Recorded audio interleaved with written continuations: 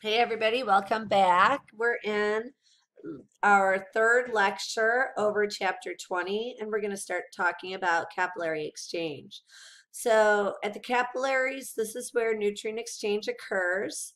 So um, nutrients in our blood are going to move into our tissues and then waste products from our tissues can move back into the capillaries and be brought to the proper area, proper areas to be um, removed from the body. There are different mechanisms of capillary exchange. Some of these you've already heard of, like diffusion and vesicular transport. Um, and then we have bulk flow, which we'll focus more on. Bulk flow includes both reabsorption and filtration, or filtration and reabsorption, however you want to say it. Um, the factors that affect transport are going to be hydrostatic pressure. Hydrostatic pressure is the pressure that fluids have pushing materials out. So like inside of our capillaries, we have a pressure and that pressure is going to push materials out. And then there's going to be pressure in the interstitial regions that pushes fluids back in. That would be hydrostatic pressure. Colloid osmotic pressure then is the pressure that your proteins and your solutes have keeping fluids from moving. So in our blood, we have colloid osmotic pressure associated with albumin and other solutes that holds fluids in. In interstitial regions, there might be other proteins that are going to pull fluids out. And so the net filtration pressure is going to be the difference between the different pressures. And so diffusion, which you should already know, is movement of materials from higher to lower concentration down a concentration gradient, and there's no energy required. So in general, you're going to have oxygen move down a concentration gradient from our capillaries into our tissues.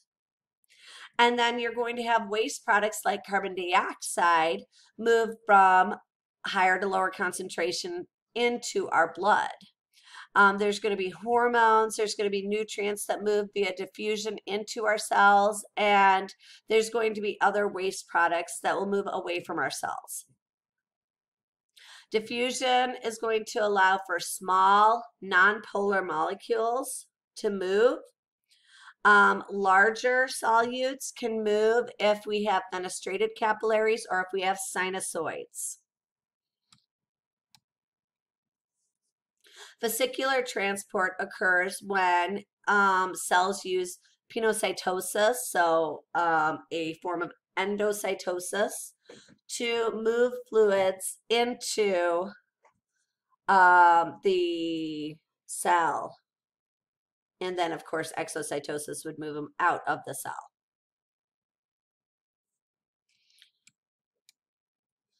And bulk flow then is the one that we focus on here.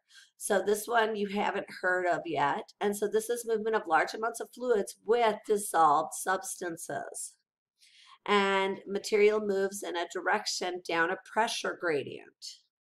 So depending on the pressures, the, the pressure pushing fluids out and the pressure pulling fluids back in will determine how much materials move.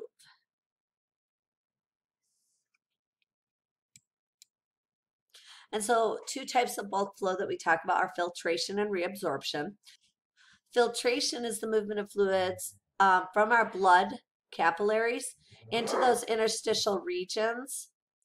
And this is going to occur on the arterial side of a capillary. Reabsorption then is the movement of materials back into our blood capillaries from the interstitial spaces, and this occurs on the venous end of our capillaries and everything is going to move via um, or not via oh yeah everything moves um, associated that'd be a better word with the different pressures and so we have hydrostatic pressure and colloidosmotic pressure so in our blood we have a very high hydrostatic pressure. And this is going to force fluids out along with those um, solutes that are dissolved in the fluids. And on the same side, we have an interstitial fluid hydrostatic pressure that is very low. So not um, as much force is pushing fluids from the interstitial regions into the blood. Which means we're going to have more fluids leaving than entering. But then um, we have proteins in our blood. Remember those albumins in our blood, we have a higher colloid osmotic pressure. So fluids um, in our blood, there's a lot of proteins, and as fluid leaves on the arterial end, on the venous end, our, we have a higher protein to fluid ratio than we did on the arterial end. And so that's going to promote reabsorption on the venous end. Interstitial fluid, again, is going to have a lower colloid osmotic pressure. So there's not going to be as much pull of fluids um, by the proteins. And um, as we increase the amount of fluid in the interstitial regions, that um, colloid osmotic pressure would drop even lower. So in general, the fluid that leaves on the arterial end of our capillaries is going to be reabsorbed on the venous end of our capillaries. But there's always a small amount of fluid that doesn't get picked up. That fluid is going to be picked up by our lymphatic system. The lymphatic system then picks up excess fluids. These excess fluids um, are then moved through the lymphatic system um, and they're filtered through our lymph nodes so that the lymphatic system not only is returning the fluids, but it's also checking to make sure that the fluids don't have any pathogens in them. And then it dumps that fluid back into our veins.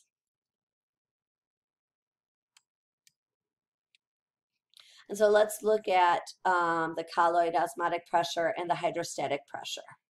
So on the arterial end, we mm-hmm. have a colloid osmotic pressure pulling fluids in, but it, that's not going to be as high as the hydrostatic pressure. And so more fluid is going to be pushed out because of the higher hydrostatic pressure. And so here we're looking at hydrostatic pressure of about 35 millimeters of mercury. And the colloid osmotic pressure on this side is about 25 millimeters of mercury. Colloid osmotic pressure is going to be the same because you don't change the number of proteins, but we've lost fluid, so our hydrostatic pressure is going to lower. so if we go to the venous end, now we have a lower hydrostatic pressure and we still have that same colloid osmotic pressure. And so we have reabsorption on this end. And so fluid leaves over here. We have nutrient exchange occurring and then fluid is reabsorbed over here. The remaining fluid that didn't get reabsorbed is going to be picked up by that lymphatic system and filtered through our lymph nodes, checked for disease or pathogens, and then returned to our blood.